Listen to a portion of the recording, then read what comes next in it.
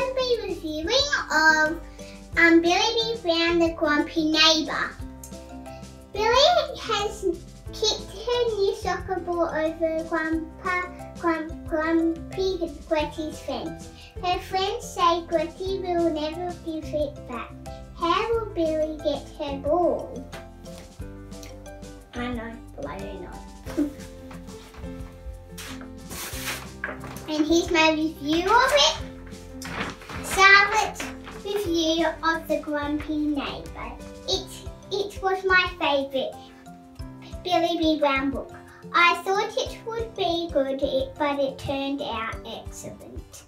And it says, says um, below that's squatting, that's Billie, that says, she says, hey, she says, sorry, Billie says, sorry. And yeah, that's my review of the Grumpy Neighbour. Bye!